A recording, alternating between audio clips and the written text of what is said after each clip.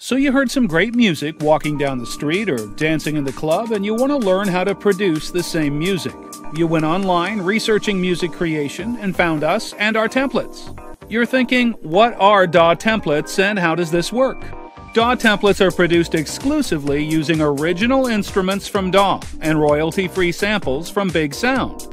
You do not need additional plugins in order to use the template, only additional content from your DAW. Go ahead, buy some templates for Logic Pro on our site, open the template, and think about what you can make.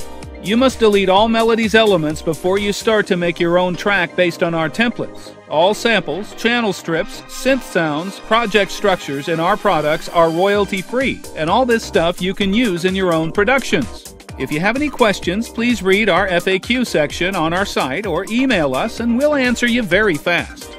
Using our templates, you'll learn how to produce music and could be very successful in the music industry.